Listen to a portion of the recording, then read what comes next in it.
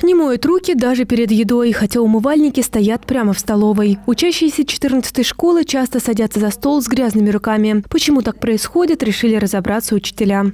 Как учитель начальных классов, меня это очень беспокоит, потому что здоровье детей на первом плане.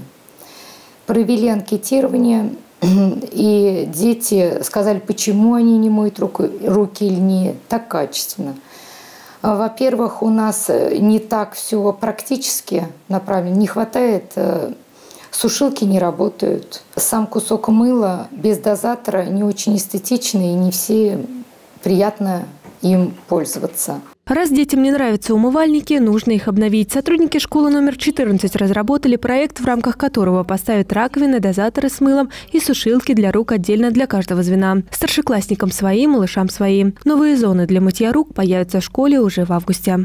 Цель была такая – процесс оптимизировать, добиться, чтобы дети в большинстве своем, процентов 100 мыли руки, и чтобы этот процесс э, приносил удовольствие и эстетическое наслаждение. Деньги на воплощение задумки в жизнь школа номер 14 выиграла в конкурсе Серафимской школы служения. Идея обновить умывальники была давно. Узнав о конкурсе, сотрудники ее облекли в форму, нарисовали макеты и составили план установки раковин. Жюри высоко оценило работу саровчан и выделило грант в полмиллиона рублей на реализацию проекта. Участие в этом конкурсе для нас было значимым и важным. Мы рады от того, что наш проект действительно принесет многим-многим э, удовольствие, ну и вообще полезно. В конкурсе Серафимовская школа служения приняла участие более 100 проектов из Арзамаса, Сарова и Дивеева. Победителями стали 45. Среди них еще два саровских учреждения – детский сад номер 16 и Центр образования.